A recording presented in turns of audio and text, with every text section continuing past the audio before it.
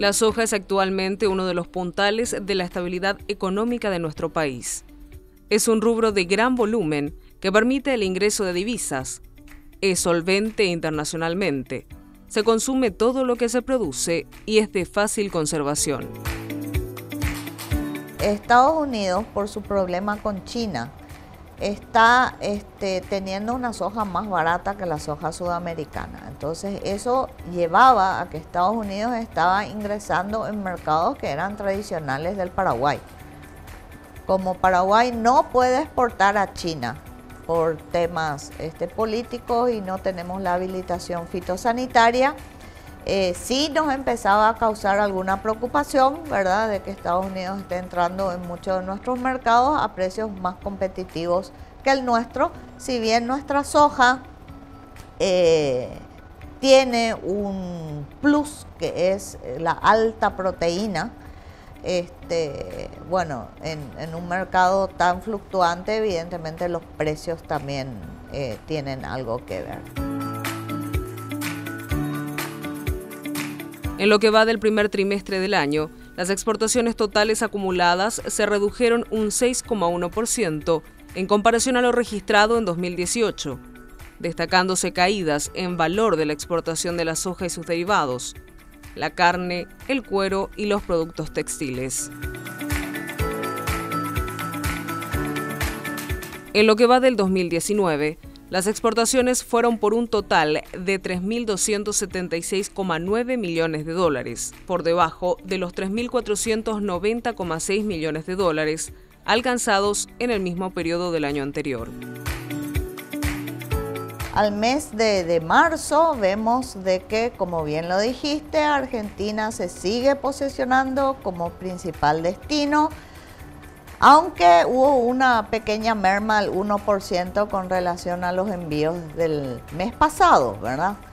Eh, estos retrasos, estamos, si comparamos lo enviado el año pasado versus lo enviado este año, vemos que hemos exportado unas 350 mil toneladas menos. Eh, esto se debió principalmente a que si bien por el río Paraguay estamos todos inundados, en el río Paraná estamos con problemas de, eh, flujo de agua. Eso hace de que eh, se estén ralentizando un poco los envíos por el río Paraná. Pero sobre todo esta merma de 359 mil toneladas se debe más a que los productores no están vendiendo porque están esperando mejores precios. Así como decimos en la jerga, los productores se están sentando encima de sus hojas, esperando mejor precio. Entonces, esta merma se debe a eso, ¿verdad? Eh, ahora, con relación a los precios, sería importante que vayan colocando los productores la soja porque no vemos que haya algún efecto significativo que lleve a predecir de que los precios van a subir. Si volvemos a los mercados, como he dicho, Argentina eh, sigue siendo y creemos que por todo el año va a seguir siendo el principal destino de nuestras exportaciones. Es un mercado cercano, un mercado rápido.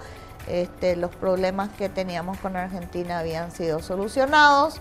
Eh, probablemente de ahora más sí van a mermar las exportaciones a la Argentina porque ellos empiezan su cosecha.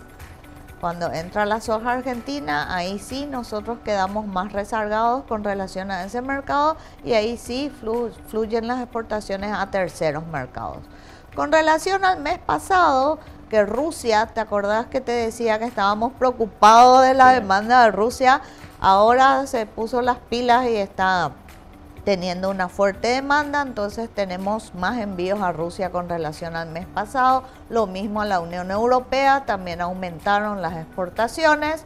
Brasil, que estaba bastante quieto, ¿verdad? Ahora ha retomado sus pedidos de exportación de soja con relación al mes pasado. Tenemos que prácticamente aumentó un 1% y otros mercados que no estaban eh, apareciendo en el mercado como Turquía, Egipto, eh, Israel, Bangladesh, Líbano, ahora han retomado sus pedidos, con lo que estamos bastante más tranquilos que los mercados, digamos que relativamente tradicionales, están volviendo. En lo que respecta al complejo sojero, el valor total de la exportación de granos, aceite y harina de soja entre enero y marzo del 2019 fue de 888,7 millones de dólares, inferior a los 1.085,8 millones de dólares del mismo periodo del año pasado. Esto equivale a una reducción total de un 18,1% para el sector.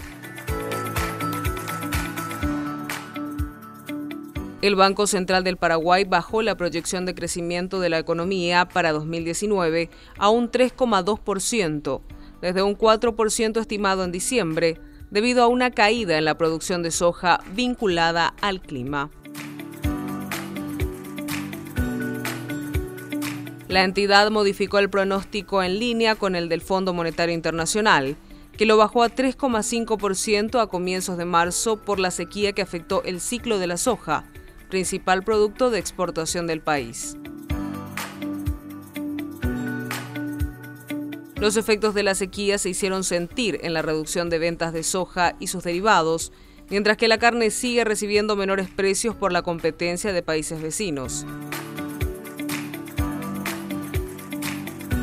De esta manera, la incursión paraguaya en los mercados internacionales cortó la racha de dos años consecutivos de alza que marcó en los primeros trimestres de 2017 y 2018, pero sin alcanzar todavía los menores rendimientos que se habían observado en 2015 y 2016.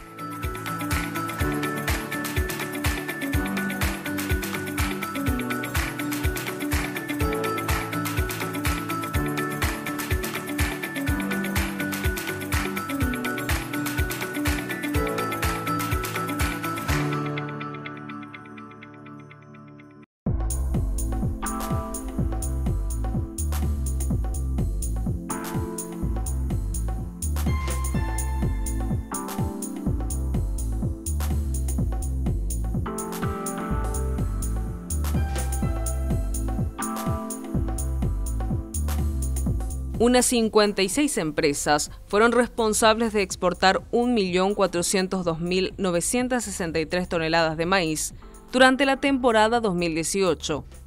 Las exportaciones de maíz se debilitaron drásticamente en la presente temporada debido al mayor aprovechamiento local. Con relación al maíz, vemos una pequeña disminución de 197 mil toneladas con relación a la zafra pasada. ¿Por qué esta disminución en el maíz? Porque, eh, como vemos en la torta, Brasil sigue siendo el principal destino del maíz. Eh, Brasil este, en estos momentos está teniendo una divisa bastante alta, ¿verdad? Con relación al dólar, lo que le hace menos competitivo al maíz paraguayo frente al maíz brasilero. O sea, para hacerlo fácil, al importador brasileño le sale caro comprar maíz paraguayo. Pero esta situación parecería que va a ir regularizando. Bueno, el dólar en todos nuestros países está teniendo un comportamiento al alza por la coyuntura internacional y eso definitivamente también afecta al maíz. No obstante, previendo que la situación en Brasil no se mejore, ya se están negociando envíos a otros mercados. El maíz hoy tiene habilitados 60 mercados de exportación, o sea, tenemos dónde elegir para vender dependiendo de cómo esté la situación de la competencia. Acordate que Paraguay, si bien estamos en el caso del maíz eh, posicionados número 8 como exportadores mundiales, eh, somos pequeños con relación a nuestros competidores, ¿verdad? Eh, entonces tenemos que ver cómo es el desarrollo de este, las exportaciones de nuestros competidores, llamémosle Brasil, Argentina, Estados Unidos, mismo la Unión Europea. Uruguay está incrementando mucho su producción de pollos y cerdos también por lo que utiliza mucho el maíz paraguayo, por, también por su buena calidad. Eh, Chile, hemos retomado el mercado de Chile. Eh, por mucho tiempo Paraguay fue el principal proveedor de maíz para Chile. Cuando Argentina volvió a entrar en el mercado nos ha desplazado fuertemente. Creemos que va a terminar como tercer puesto en la zafra 2018. Y como he dicho, hemos eh, empezado los envíos al resto del mundo, sobre todo a los países árabes, eh, Arabia Saudita, Egipto, y este, hemos incrementado las exportaciones, los envíos a, Corea del Sur. Con eso se ha diversificado las exportaciones de maíz a fin de, de, prever de que la situación brasilera no se compense en el corto plazo. Egipto principalmente es el sur de Europa, ¿verdad? Que por la cercanía evidentemente llegan a con flete ya nos están ganando, pero sí es un mercado interesante. Estos países árabes son mercados muy interesantes para Paraguay porque ellos son importadores netos de alimentos. Y Paraguay es bueno produciendo alimentos. Realmente este, la calidad del producto paraguayo es muy estimado en, en el mundo este, en ciertos productos ya tenemos un nombre, por ejemplo, en la soja paraguaya, cuando uno habla en Egipto de soja paraguaya, enseguida te dicen, ah, soja de alta proteína, o sea, ya tenemos un nombre y una marca establecida, ¿verdad? En el caso del maíz está sucediendo lo mismo, eh, pero falta un poco más de marketing, por eso es que el año pasado hemos realizado algunas misiones comerciales de venta para promocionar más el maíz, que Turquía es un mercado muy importante para la soja, de hecho es el cuarto mercado de exportación de la soja. Estamos enviando hace más de 10 años un promedio de 550 mil, 700 mil toneladas mes, eh, año de soja a Turquía. Por ende, eh, acompañar al, al canciller sería a más de, dar un respaldo a la promoción país que va a realizar, eh, aprovechar la ocasión para contactar con nuestros compradores y hacer un poco más de promoción de maíz. Durante la presente temporada se enviaron unos 1,1 millones de toneladas frente a los 1,6 millones de toneladas exportadas durante el mismo periodo de la temporada anterior. Esto representa 31,25% menos de salida del cereal. La razón principal es que este producto conoció de una fuerte industrialización en el plano local, luego de la instalación de una nueva planta de etanol que elevó la puja por la materia prima en la plaza interna. También se sumaron varias plantas de balanceados para suministro de piensos a los animales, promoviendo de esta forma la mejor industrialización que consiste en la conversión de proteína vegetal en producción animal, bovino, porcino, avícola. Otra probable causa de la menor salida de maíz es el periodo de espera que afrontan los exportadores locales ante el posible repunte de precios en el mercado brasilero. El vecino país es considerado históricamente el mejor destino para el cereal guaraní.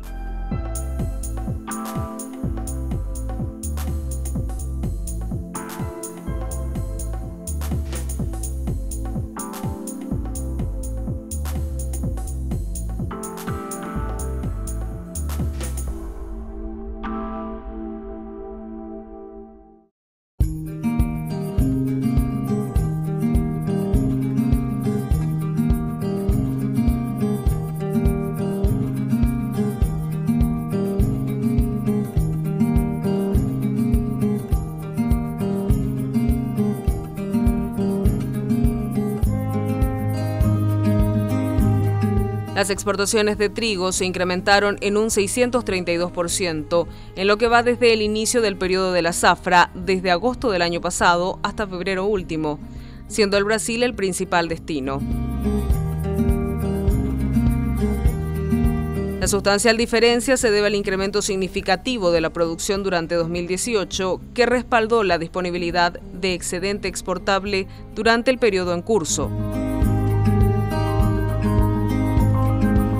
Los envíos del cereal guaraní pasaron de una modesta cifra de 21.857 toneladas registradas a noviembre de 2017 a una portentosa cantidad de 165.000 toneladas que representa un salto de 654,9%. Zafra anterior tuvimos una producción de 700, 800 mil toneladas, que es prácticamente todo el consumo interno.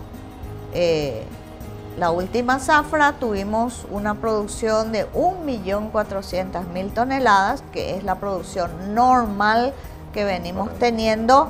Eh, lastimosamente estamos estancados en el trigo, me gustaría que crezcamos más, me gustaría que así como el maíz pasemos las 3 millones de toneladas, entonces el trigo paraguayo sea reconocido en el mundo.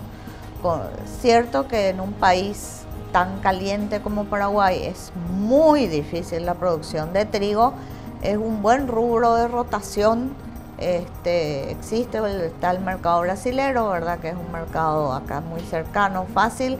Entonces sería importante que los productores eh, piensen en, aumentar el área de trigo que viene bastante, eh, no crece en los últimos cinco años, no hemos crecido. Entonces sucede, claro, sucede lo que sucedió la zafra pasada mermó la producción y teníamos trigo solamente para la producción nacional. Y eso no es bueno porque entrar y salir de los mercados eh, no te da credibilidad. En cuanto al trigo, eh, vemos de que sí, comparado a la zafra pasada, tenemos 352 mil toneladas más exportadas. Pero vuelvo a recalcar que esto sucede por el hecho de que en la zafra pasada nosotros no exportamos prácticamente trigo. era más para consumo, ¿no? Era para consumo interno. Entonces, evidentemente, los números saltan mucho y eso llama la atención, pero era nada más que porque la zafra pasada se priorizó el mercado interno, no se exportó, entonces este año se regularizaron los envíos, ¿verdad? Esperemos que la próxima zafra de trigo que se iniciaría en junio sea tan buena como la zafra anterior y podamos tener trigo tanto para nuestro mercado interno como para el mercado de exportación. En total, unas 37 empresas y cooperativas tuvieron presencia plena en las exportaciones de trigo durante el 2018, siendo Brasil quien adquirió prácticamente todo el volumen exportado desde Paraguay, con una concentración del 99,8% de todo lo exportado. Este porcentaje representa 232.720 toneladas. Lo restante, que es apenas el 0,2%, fue enviado a Vietnam fueron 510 toneladas enviadas al país asiático. El arroz sí viene a ser en los últimos años una estrella, ¿verdad? Sí. Si vemos la producción de arroz de los últimos cinco años se quintuplicó. Y lo bueno es que también se han diversificado los mercados del arroz. Si comparamos el arroz, eh, la zafra, o sea, el año 2018 versus el año 2019, eh, solamente hay un aumento de 36 mil toneladas, pero si comparamos con los años anteriores, donde el único mercado de exportación era el Brasil, estamos hablando que al mes de marzo, solamente considerando el periodo enero-marzo, ya hemos exportado a 30 mercados de exportación. Brasil, como siempre, sigue siendo el principal destino al arroz con el 71% de los envíos. Pero acá es un dato importante, ¿verdad? El arroz paraguayo, fíjense la, la buena calidad que tiene, que ha ingresado a la Unión Europea y la Unión Europea se posicionó como segundo mercado. Claro. ¿Verdad? Eso realmente es un, éxito muy importante, ¿verdad?